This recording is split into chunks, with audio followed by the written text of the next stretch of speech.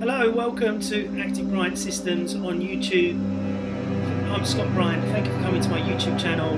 This video is all about the 10 myths in the strength and conditioning field of exercise.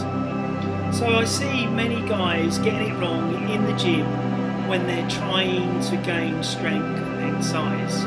And number one, number one, the first myth is I can do it without having a corrective or an exercise program. If you're not tracking your reps, sets, loads, and tempos when you're in the gym, you don't know what success you're having in the gym and if you're not documenting it. So the, the big bodybuilders or the big athletes like uh, Lou Ferrigno, Dorian Yates, Arnold Schwarzenegger, all these guys have got gigantuan muscle mass, all documented everything. So they could see their progress and see how much they was improving in their strength and conditioning program. So it's really important that if you don't know what the hell you're doing when it comes to program design for strength and conditioning, then you need to see somebody like me where I can do a thorough assessment, find out where you're strong, where you're weak, and where you're too tight, and we'll design your program in which to balance the body.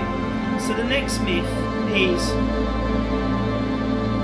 you need to work out like a bodybuilder. So I hear lots of guys in the gym and they go, Oh, I'm just training triceps today. And I think they're going to get mega massive triceps. And then they go, Oh, I'm just doing legs today. And I think they're going to get mega massive legs. And then you've got these other guys that go, Oh, I'm just going to do it's a back day, back and arms day today, and uh, I'm going to get gigantuan arms and a back. Now, really, fundamentally, if you're in strength conditioning, conditioning means the whole of the body. If you're looking at it from a holistic point of view, not just one arm. Now, if you're taking anabolic steroids and you're a bodybuilder then maybe doing 500 sets with your triceps might make it grow. But if you're training naturally, like myself, to get the tricep to grow will take less work but heavy weight, okay, and great program design. So if you're training for strength and conditioning, do not train like a bodybuilder train like a strength and conditioning athlete. So you wouldn't see Linford Christie, you know, won the 100 metres so many times, just doing triceps in the gym because it's going to make his sprint faster. No, he's going to be doing clean and jerks and deadlifting and, and sled pulling and stuff like that in which to get his power up. Okay, does that make sense? So really important not to myth two not to train like a bodybuilder if you're trying to get strength, speed, and power.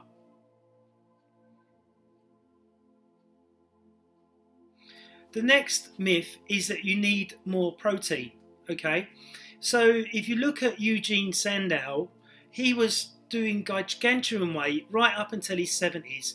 He had a ripped physique, no protein powders, no supplements, just hard, regular strength and conditioning training with kettlebells, with uh, weighted uh, big balls, and stuff like that, in which to get gargantuan strength. Okay, so really important that you do.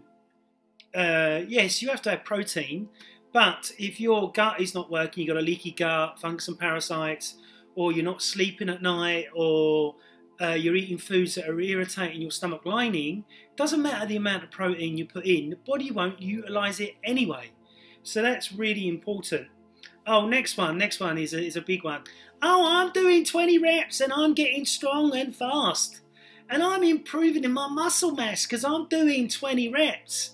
Now, 20 reps and 15 reps at a, you know, 1-1 tempo or a 3-3 tempo is very endurance. So it won't give you strength and it won't give you speed and it won't give you power. It will give you endurance. Okay, so really important for you to remember to stay away from the 15 to 20 rep zone if you want to get stronger, bigger, and faster. Okay, stay out of that range. But if you're going on holiday and you just want to look a bit more ripped, then obviously you'd go into the 15 to 20 rep zone in which to maybe help burn more body fat and maybe help your body to look a bit more ripped, a bit more lean if you've gained a lot of strength and size over the winter period. So that's the only time I would recommend doing high rep training. Oh, next one. Oh, I'm doing 20 exercises and this is how I'm going to get my strength and size. Now, doing 20 exercises in the gym is way too much. So if you're doing, like I recently saw a client and uh, a couple of months ago and he bought an online app and on his online app he was doing 20 exercises for his chest. He had no chest. He had no size. He had no definition. He had nothing there. You know, he was nearly a woman.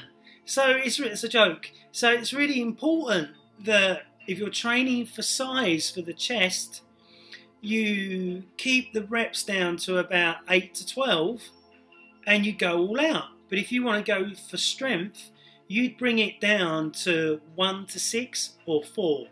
I found because I'm nearly 50 now, training in the rep zone of 4 to 6, my body loves it. And I love it too because I'm not getting too much lactic acid build up. I'm getting stronger and stronger and stronger and I feel great and my body's holding on to my muscle mass. So remember, you young boys out there, when you're in your 20s and your mid 30s, it's easy to gain muscle mass unless you're a hard gainer, okay? But if you're a big guy already, gaining mass at that age is okay because your hormones are really high. But as soon as you hit 40 and 40 upwards, your testosterone comes down. So you have to try and trick the body into getting growth or keeping what you've got. So Arnold, uh, look at Dorian Yates. He's lost all his size. He still looks good because he's on to testosterone, but testosterone just to balance his hormones. He's not on huge amounts to gain muscle mass. But you see the difference between taking drugs and not taking drugs. Like here, that's a drug physique. That's not natural. Okay, so it's really important that you understand this philosophy, and you understand that if you go to the Living Legends uh, uh, Instagram page, uh, you will see him on there doing a 210 kilo deadlift for one to two reps, but he weighs 70 kilos. So that's somebody that's really, really, really strong and is staying in the power zone of training. Okay. So the next uh, myth ah, is that you need to do uh, lots of cardiovascular training. Now, this has been debunked by Charles Poliquin. Charles Poliquin was a strength and conditioning coach. He's dead now. Uh, got 250 athletes to Olympic gold, and his philosophy was you don't need any cardio. Simply because the cardio system and the strength system work together, not independently. And unfortunately, in the industry today, we're all taught, oh, it's independent, but it's not. They're both together. So if you look at world's strongest man, they've got huge amounts of body fat, which I don't like. But you see they have good endurance and they have good speed and power because that's how they train. They train fucking really heavy for high reps, which I don't agree with to a certain degree, but they'll be doing that in different cycles before they do the competition. So then they get the endurance for the competition of uh, running with a sled or pulling a truck or running with a car. But then they'll do their power training to get their strength up to the level of lifting